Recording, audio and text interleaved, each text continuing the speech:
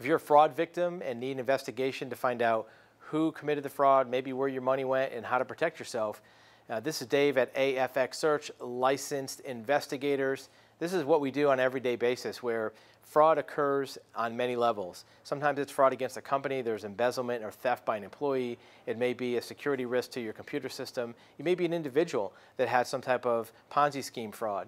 These types of schemes that a fraudster will do usually have common elements, and in most cases, it's not the first time that the person has done something like this. So tracking down, first of all, who committed the fraud and who enabled the fraud. Many times, recovering the assets uh, is helped when there's attorneys or accountants or um, even sometimes title companies that have been involved in enabling that fraudster to commit their scheme. If you have questions about your fraud case or recovering assets, you can reach us at our website at afxsearch.com.